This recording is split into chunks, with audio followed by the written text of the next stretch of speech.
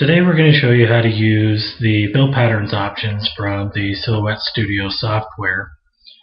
This is a great feature and works really well with the print and cut feature of the Silhouette machine and it works really awesome with the inkjet printable vinyl from expressionsvinyl.com.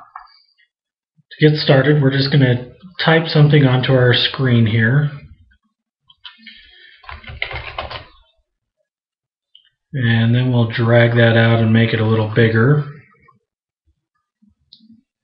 Make it easier to see all this.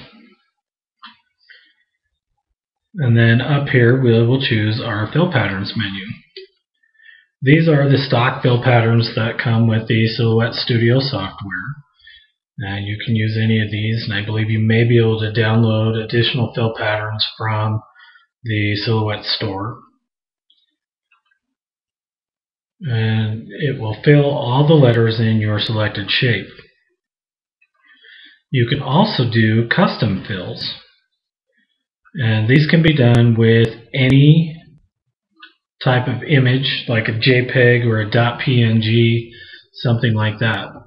When you do these custom fills these are actually a, an image you're pulling from your computer that's not within the Silhouette Studio software and rather than filling your entire selection, it's going to fill per cavity. So if I drag something over here, it's going to fill in just the V or just the I or whatever I select.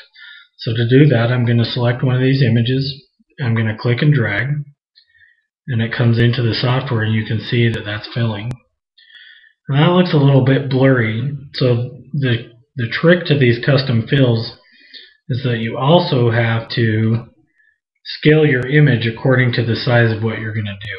So it can be a little bit more work. But you simply just drag those images over and now you've got a custom fill. Now if you want to manipulate your fills, you can go to the advanced options here and this will work on a custom fill or anything from the stock selection of the Silhouette Studio software.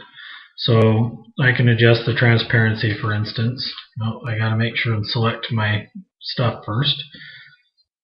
So I can make those more transparent if you're going for that effect. Uh, pan pattern will give me this little thing here and I can grab onto it and move the fill around within the cavity that it's filling if I want to reposition that a little bit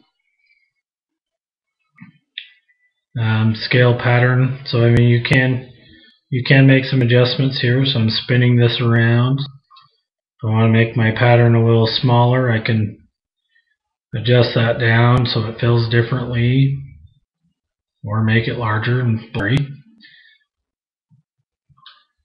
Um, you can rotate your patterns around. All these are just going to change the the how the fill pattern is going to look for you. So you can adjust all of that. And again, you can do that with your own custom patterns like I just showed you or with the stock fill patterns available directly within the software. And that's all there is to fill patterns.